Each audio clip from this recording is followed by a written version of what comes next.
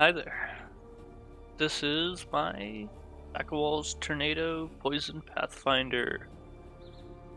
Idea of the build is to use Saqawal's Tornadoes, poison with it, Pathfinder, pretty straightforward.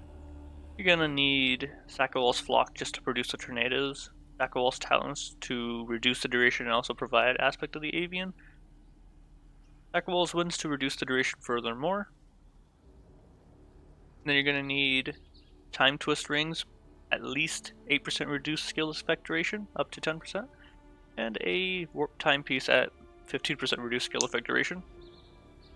Doing that in combination with Swift Affliction and Less Duration connected to Aspect of the Avian should bring you down to just over a quarter second for each of them. So every quarter of a second you'll be dropping tornadoes.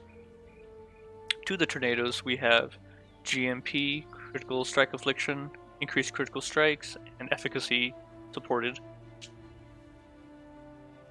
in the boots, as mentioned earlier, we have Swift Affliction, Less Duration, and Faster Casting, Lightning Warp. Lightning Warp in the shoes is very useful because otherwise you'd want Swift Affliction, Less Duration, duration on Lightning Warp. Putting it here allows you to get the full supports to Lightning Warp and also allowing Swift Affliction and Less Duration to support Aspect of the Avian. I also have an Anomalous Herald of Purity, allowing the minions to taunt, a little bit tankier for us. Vitality, level 1 to enable the Watcher's Eye mod. Divergent Herald of Agony to make sure we cap out our poison chance. We don't grab too much poison on the tree, this allows us to still cap poison. Kaom's Heart, we're a little short on life. We With the Kaom's Heart we barely hit 5k, so without it we're at 3.6k, not very great. This allows us to be a little bit less squishy. Our weapon, damage is from the Disintegrator, Battle Mage. We have 372 to 523 physical damage. This will apply to Saqawal's Tornadoes, so we have an average of like 2,000, less than 2,000 hit damage, which is fine because we're not scaling our hit, we're scaling a poison. And we have Withering Step, increased area of effect, Plague Bearer, and Empower. Power will level both of these up. It's nice. All works out. This fifth link right here ideally would be Enhance, giving us more elusive effect and more AoE. Not necessary, but if you can do that, it'd be pretty nice. For the tree, what it kind of looks like. Main thing is you need to grab Perfect Agony on the skill tree because the Coralito signature flask no longer has it. Grab some life. You need to grab the reduced skill effect duration on the skill tree to bring down uh, Aspect of the Avian's duration. You're generally grabbing crit. All of your flask nodes, with the exception of Druidic Rite and the flask effect duration, don't necessarily need that because we are a Pathfinder. So we get a fair bit of duration, effect, and flash charges gained as the small notables on the Ascendancy. On the Ascendancy itself, the main thing is we need to have max Toxicist so that our poisons can proliferate. Nature's Reprisal converts 40% of our physical damage to chaos damage.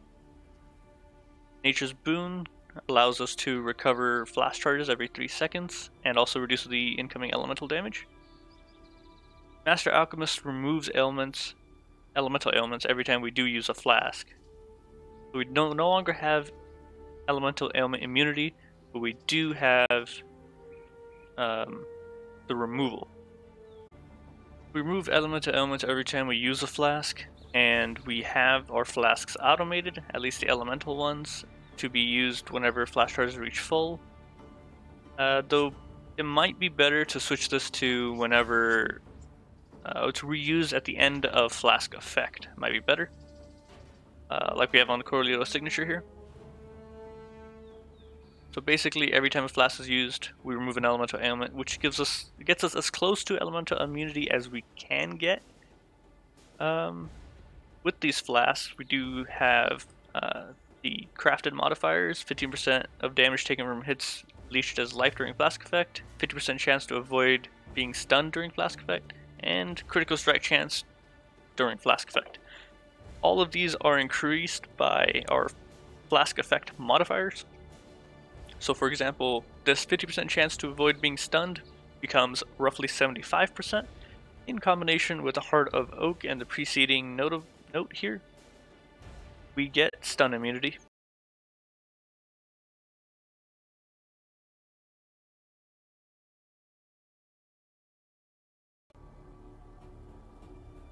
Our Watcher's Eye is a life gain on hit while affected by Vitality one. The other modifier doesn't actually matter.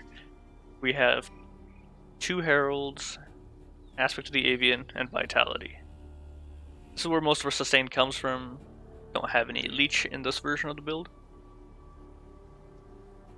This is a level 85 tree, so if you continue past this, it's easy to get a Jewel Socket, some Life, Life, even uh, opt to move some nodes around to get up to this life and possibly the Doomcast for more critical strike chance. Even change the cluster jewels. And speaking of the cluster jewels, we have one large, two mediums. On the large, you need overwhelming malice to get unholy might on crit, which is up 90% of the time, basically, because we crit quite a bit. Grim Oath up 100% of the time because it's just straight up gain 10% of physical damage extra chaos. Pretty good damage there.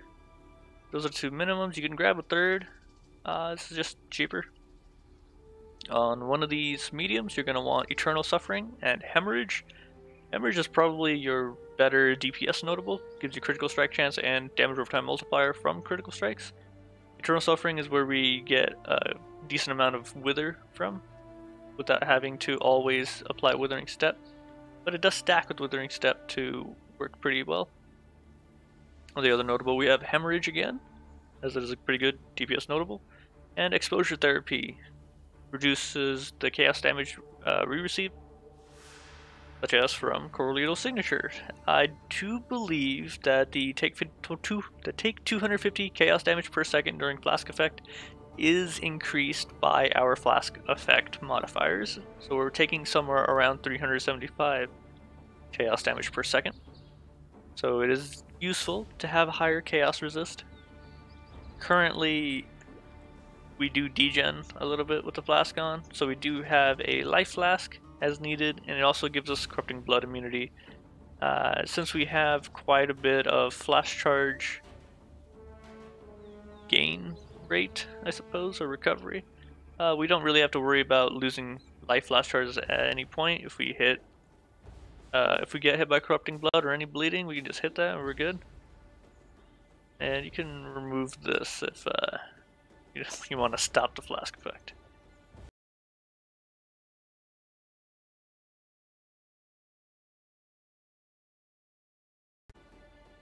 We'll jump into a map for demonstration.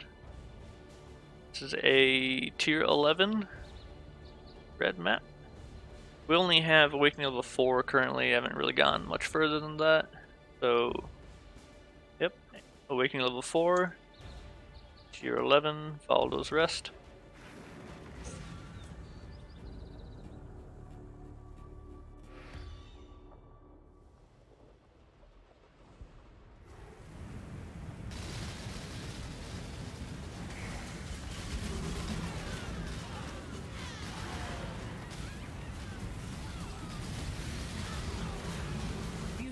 From your remains. While standing in hideout, your flask effects might fall off at any point, but because we get 20% increased flash charges gained if we've dealt a crit strike recently, that brings it up to where your flask should not ever fall off.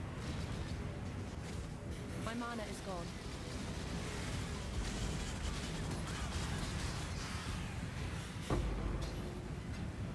Oh yeah, one more thing the inch. Uh, let's turn it on.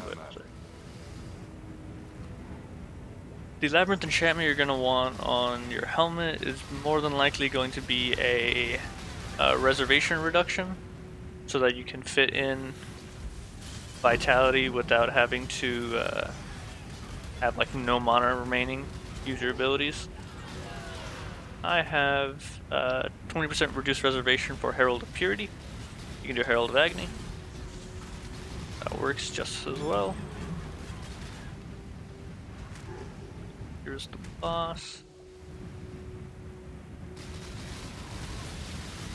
Uh, you could leave it as uh, the setup right now, or you could switch out Deadly Ailments for GMP, or switch out GMP for uh, Deadly Ailments, and you'll see that our damage goes up pretty substantially. Uh, for the most part, single target is still going to be a bit lower than the clear speed on this build. It works very well in expeditions, which I will uh, demonstrate as soon as we find one. Do want to keep GMP on for expeditions though, just works out much smoother. Because we have so much reduced duration, Lightning Warp feels pretty good. Here's a breach. I'll show a breach.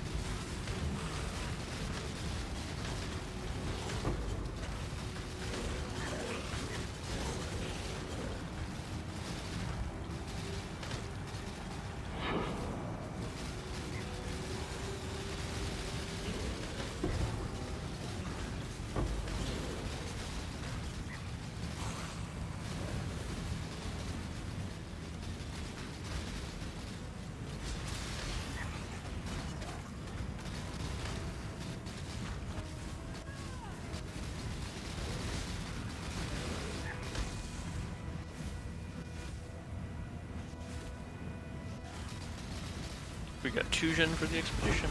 Pretty nice. Tujen, nice to me. yeah, you generally don't want to do anything like immune to physical, immune to chaos. You're going to lose a bit of your damage. I mean, it's still doable. Do not grant, grant flash charges when slain is not an issue. We honestly generate all of our flash charges on our own. We don't do cold damage. Uh, that's fine too. Cold. They're always hitting crits, that's probably fine. There we go.